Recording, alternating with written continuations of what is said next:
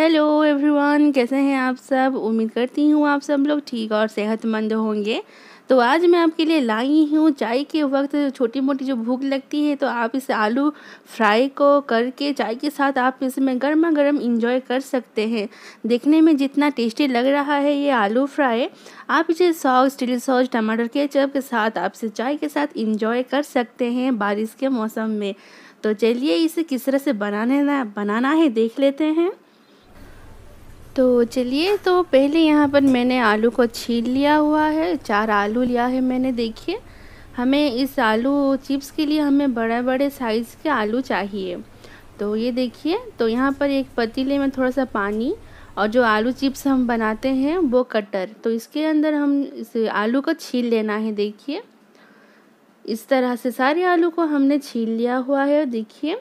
और इसे पानी की निकाल कर एक सूती कपड़े में हम इसे डाल देते हैं और इसे ऊपर से ही पोछ लेते हैं, देखिए। और अगर आप फ़ैन के नीचे भी रखेंगे तो ये जल्दी ही सूख जाएगा, पानी नहीं रहना चाहिए। तो इस कपड़े से हम, देखिए, सारे आलू को मैंने फैला लिया है और इसके ऊपर भी ढक लिया है कपड़ा और इसे अच्छी तरह से पोछ लेते हैं आलू को। और एक थाली में सारा मैं निकाल लेती हूँ आलू को। ऐसा करके मैं सारा आलू को इस कपड़ के अंदर से रख लूँगी, ऐसे पोछ लूँगी, देखिए। और यहाँ पर मैंने चावल का आटा लिया हुआ है, एक कटोरी जितना, देखिए। और इसमें थोड़ा सा नमक डाल देती हूँ और इसे मिक्स कर लेते हैं। तो इसे साइड में रख लेती हूँ और अभी जो चक्की है, रोटी बेलते हैं हम, वो लेती हूँ और उसके ऊपर एक छलनी से एक चम्मच चावल का आटा डालकर चारों तरफ़ फैला लेते हैं, ऊपर से देखिए। और जो आलू को एक एक रखना है, और इसके ऊपर से और छलनी से मैं चारों तरफ़ चावल का आटा फैला देती हूँ चारों तरफ़ से। और इसके ऊपर और एक आलू। ऐसा करके हम सारा एक स्टिक में डाल दूँगी, रोल करके। तो इसके ऊपर भी थोड़ा सा आटा डाल देते हैं, चावल वाला। और हाथों से आलू को पकड़कर हम इसे रोल बना लेते हैं।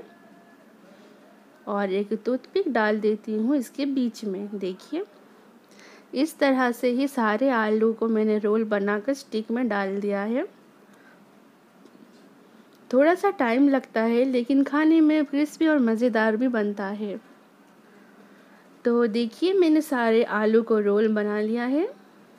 इस तरह से और तेल गरम पूरा मैंने कर लिया है। तो यहाँ पर देखिए, तेल पूरा गरम ही होना चाहिए। लो आँच में हम इसे नहीं तलेंगे, फुल आँच में ही हम इसे पकाएँगे। तो सारे आलू को डाल देती हूँ तेल के अंदर। और हमें इसे फुल आँच में ही पकाना है। तो इसे देखिए बीच बीच में हम थोड़ा थोड़ा चला लेते हैं। चारों तरफ़ से अच्छी तरह से क्रिस्पी, गोल्डन हो जाएगा ये आलू। तो इसे दूसरी तरफ़ भी कर लेते हैं। और बारिश के मौसम में तो हर कोई पकोड़े खाने को बहुत ही मन ही होता है, हर हर किसी को। तो इस तरह से आप बच्चों के टिफ़िन में भी आप इसे आलू रोल को दे सकते हैं। ये थोड़ा सा गोल्डन हो चुका है तो अब इसमें, इसे मैं निकाल लेती हूँ एक प्लेट के, प्लेट में। और बाकी जो बचा हुआ है, उसे भी मैं तेल में फ्राई कर लेती हूँ। तो इसे भी हम अच्छी तरह से चला लेते हैं बीच बीच में चला लेते हैं।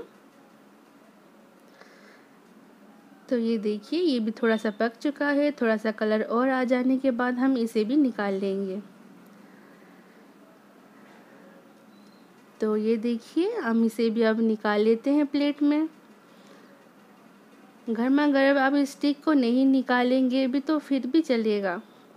तो यहाँ पर देखिए, मैं सारे स्टिक को निकाल लेती हूँ हाथों से और एक कटोरी में सारे इस आलू रोल को डाल देती हूँ और ऊपर से थोड़ी सी नमक, थोड़ी सी लाल मिर्च पाउडर और कस्तूरी मेथी ऊपर से थोड़ा सा ही डालना है।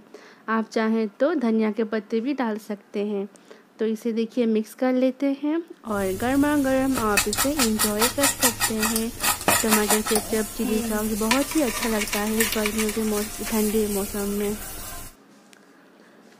तो ये देखिए, हमारे आलू चिप्स तैयार हो चुके हैं एवरीवन अगर आपको पसंद आए तो ये रेसिपी प्लीज़ मेरे चैनल को सब्सक्राइब लाइक शेयर ज़रूर कीजिए। बाय